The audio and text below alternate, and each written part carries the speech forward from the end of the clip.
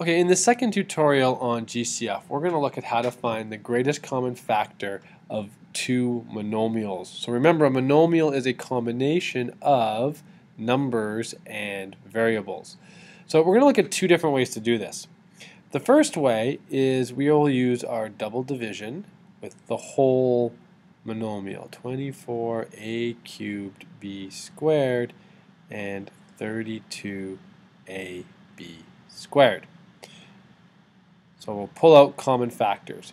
I'm going to focus on the numbers first, 24 and 32.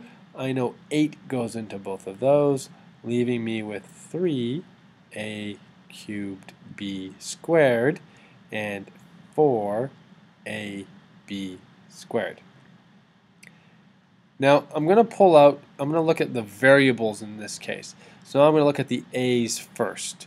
So I have a cubed on the left and just a on the right. I know a can be taken out, so I'm left with 3a squared b squared, and 4, the a's have been canceled out, b squared. Now I'll focus on the b's. I have b squared and b squared. Well, the common factor there is b squared. So I'm left with 3a squared and 4. So just like in our previous example, these two numbers or two monomials at the bottom are relatively prime. And on the left we have our common factors.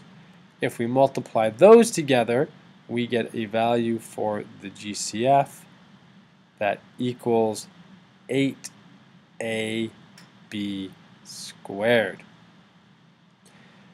So this is this is one technique of doing this. The second technique is, is similar, except instead what we do is we focus on just the numbers first, 24 and 32. So once again, I'll just pull out that 8 really quickly since I know that already works. 3 and 4, relatively prime at the bottom, and GCF on the side. So I know that my GCF is equal to 8. To find the value of the variables that go here, what I'm going to do is I'm going to compare powers.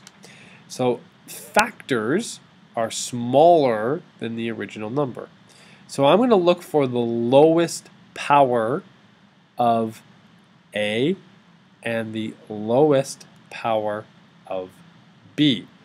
So here I have a cubed, and here I have a with no exponent, so we that's a 1. So 1 is smaller than 3, so 8a.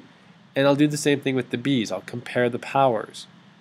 b squared and b squared are equal, so b squared is our lowest power of b. So a different technique for finding which variables or what the power of the variables that goes into the GCF. So once again, two techniques for finding the value of the variables. Either you can divide them out using the double division method on the left, or you can compare powers and look for the lowest power for GCF on the right.